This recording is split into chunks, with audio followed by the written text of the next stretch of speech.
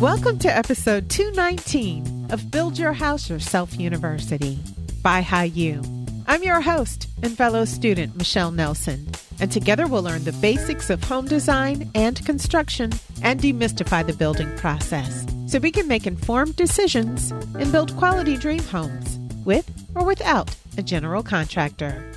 Although I'm not particularly interested in having the very latest gadgets, electronics, or technology in my house, one techie element I do want to invest in is fast, reliable internet service. Having high speed internet is nice for those of us who mainly shop online or visit various websites and social media platforms. But a fast internet connection is especially helpful if you or your family members are gamers or movie or TV buffs who regularly use streaming services like Netflix or Hulu or if your household has multiple people using the internet simultaneously. So, in this week's mini lesson, I'll tell you about fiber optics internet, the fastest type of internet connection available, and we'll compare it to the other internet options. So, let's start the show by going over a pro term. The pro term is streaming. Streaming is the method of viewing video or listening to audio content without actually downloading the media files. Streaming also allows you to make video calls. With streaming, an audiovisual file can be played on your smartphones, smart TVs, tablets, or computers without downloading the file.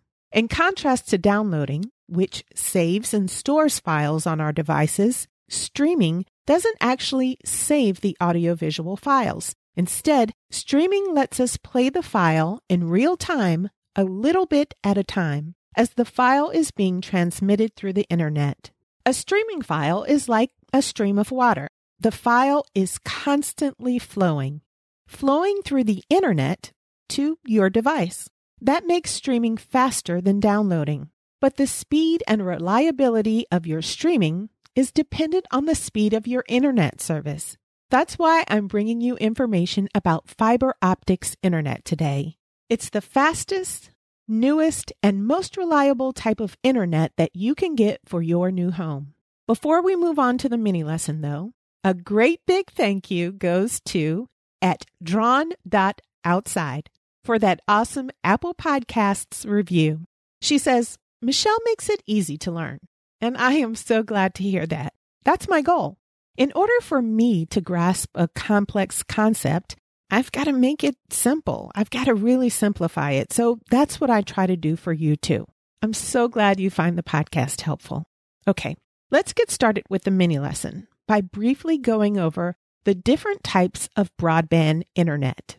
As compared with slow, old school dial up internet, broadband provides higher speed internet access. There are multiple types of broadband technologies. In order of slowest to fastest, the broadband internet connections are satellite, DSL, wireless, cable, and fiber optics. A dial up connection is the only non broadband internet service available, and it's so slow that it really isn't recommended anymore. All right, Let's briefly talk about each of the broadband services so you can decide what's best for your household. Starting with satellite. The slowest broadband service is provided by satellite, but it's a decent option for those living in remote rural areas. The installation costs can be expensive, and the average monthly cost of satellite internet, according to reviews.org, is $91 per month. And that's pretty much all I'm going to say about satellite. Because if other options are available to you, you should choose one of those other options. Second is DSL. DSL, which stands for Digital Subscriber Line, is an internet service that utilizes unused telephone wires. DSL causes no interruption to your landline telephone service, but DSL is faster and more reliable than dial up and because it's built on existing phone lines, DSL is widely available. Your internet speed with DSL will depend on your distance from the physical infrastructure of your internet provider. Your internet will be slower the further away you are and faster the closer you are to it. DSL's max speed will also vary based on which plan you choose. Lightning fast plans offer speeds up to 100 megabits per second, and the slowest plans deliver speeds closer to 10 megabits per second or less. And I'm saying that correctly, by the way. It's not megabytes, it's actually megabits. Megabytes refers to a file size, while megabits refers to download and upload speeds. Faster DSL plans will obviously be better for HD video, gaming, or streaming on multiple devices. One great thing about DSL is that DSL provides customers with a dedicated line. Therefore, you're less likely to have internet security issues.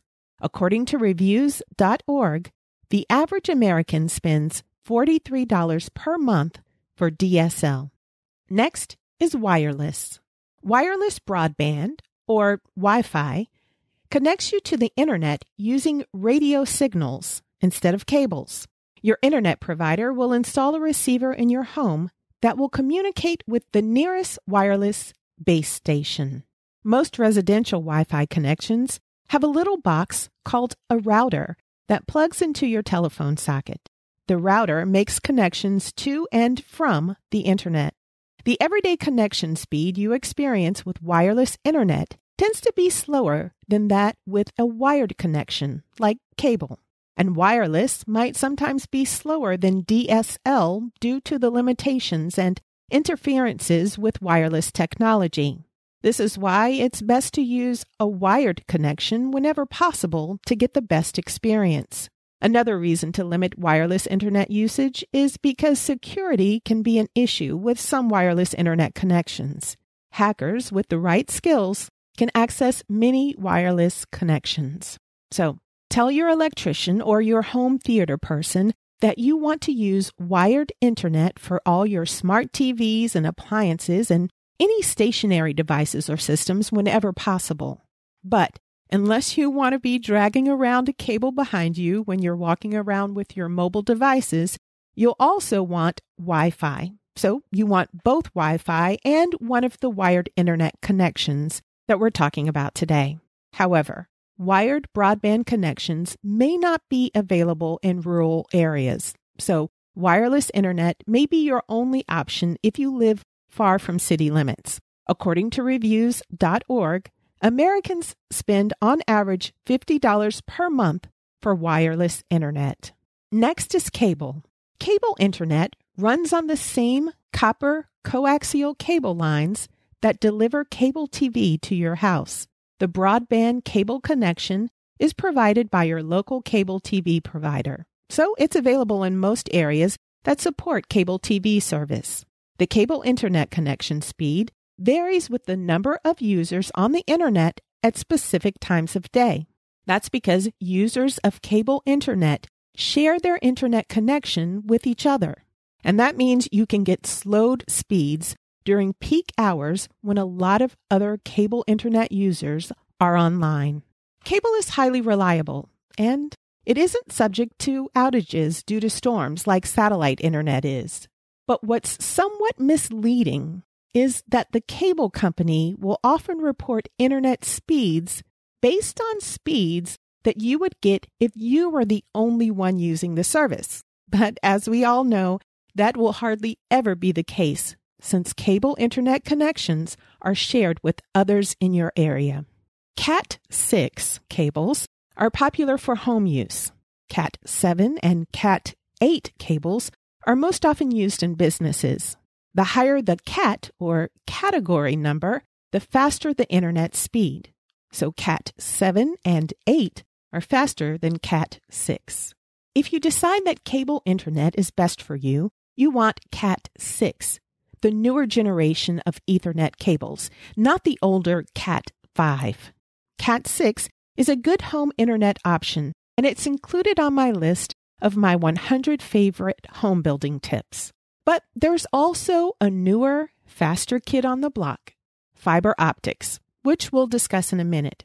By the way, to get my list of my 100 favorite home building and design tips, you can email me at info at byhyu.com. That's info, I-N-F-O, at B-Y-H-Y-U dot com.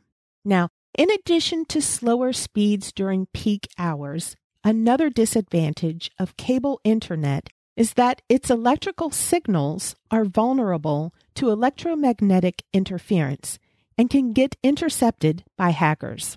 Still, Cat 6 is a very nice option for wired internet, and according to reviews.org, cable internet costs, on average, $58 per month. Last on our list is fiber optics. Fiber optics is the newest broadband service. Fiber optic internet, sometimes just called fiber, uses fiber optic lines, which are cables made of bundled strands of glass. Each glass strand transmits light signals. And because the speed of light is so fast, fiber internet is extremely fast. Unlike DSL and cable, fiber optic signals don't degrade or slow down over time or distance. And fiber signals are less likely to have issues with interference. Fiber optic cables can carry lots of data, much more data than the copper wires used in DSL, cable, and satellite internet connections. Since the light transmission of fiber optic cables is not susceptible to hacking, the fiber internet connection is generally very secure. Fiber optic internet is still very new, and it's only available in limited areas, usually in cities. In my research, some sites said that fiber internet is available in 27% of the US, while other sites said 39% of the US. Bottom line is, it's not widely available. To see if fiber optic internet is available in your area, you can go to a link that I'll have in the show notes. When you go to the site, you just enter your zip code, and the site will tell you what types of internet are available in your area including whether fiber has made it to your region. Fiber internet installation costs depend on a variety of factors, including how close you are to the nearest fiber network and your home's current network capabilities. Although it's new, the cost of fiber optic internet is fairly close to that of DSL and cable. Monthly fees average $56 per month and range from 30 to $75 per month depending on your provider and the speed you choose.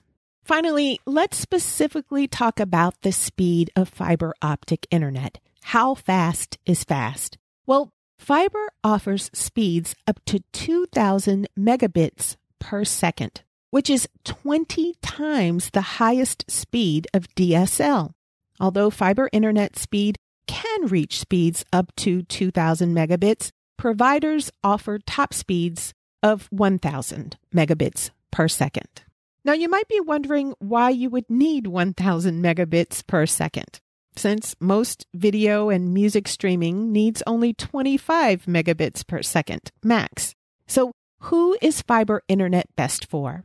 To be honest, you might not notice much difference when using fiber internet when compared to your DSL or cable internet speed if you're simply browsing through social media or occasionally downloading a video. But if you're trying to download a large video game like Fortnite, fiber optics can turn a two hour download into a fast two minute download. Supercharged fiber speeds give you the availability to perform many more tasks on many more devices simultaneously. In practical terms, fiber is fast enough to keep up with extremely heavy internet use, including use of security systems, smart TVs, and smart appliances. Fiber might be a good choice for you if you want to be ahead of the technology curve, if you have multiple internet users in your house, if you'll have a smart home with many appliances and electronics that need internet service, or if you do a lot of Zoom calls or if you have gamers in your household. If you prefer to stick with the older tried and true options, choose DSL or Cat6 cable internet. But realize that fiber optic internet may be the primary or only option as it grows in popularity. The decision of which wired internet connection you choose comes down to your internet usage, your home's location, and your budget. But remember, you'll probably want both a wired and wireless internet connection, if possible. A wireless internet network is a great backup solution in case your wired service goes down.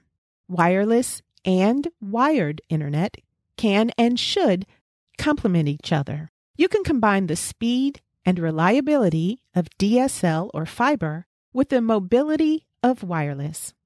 And if you're transmitting any kind of sensitive or private data, it's best to use DSL or fiber connections.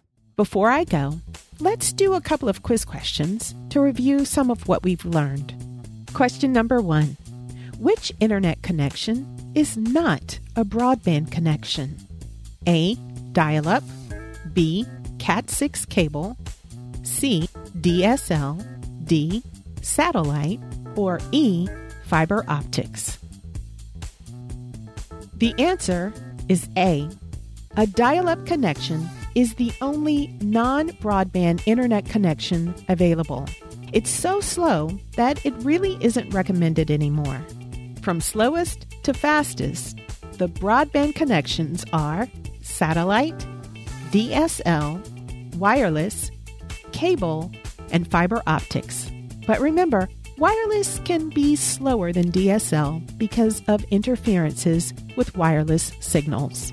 Question number two What is the greatest disadvantage of fiber optic internet? A. Slow speed. B. Limited availability. C. Inability to work on smart TVs. Or D. Low level of security. The answer is B. The greatest disadvantage of fiber is limited availability. Sources say that fiber internet is available in only 27 to 39% of the US, and it's mostly in cities. Fiber connections are actually the fastest, most reliable, and most secure of any internet option. And question three True or false? You can have either wireless internet or wired broadband internet connections, but not both.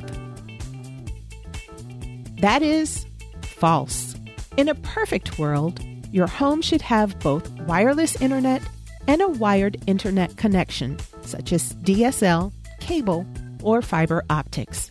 That way, you can combine the speed and reliability of DSL or fiber with the mobility of wireless. Using Cat 6 cable internet is another good option for a wired internet connection, but it's not quite as secure as DSL or fiber.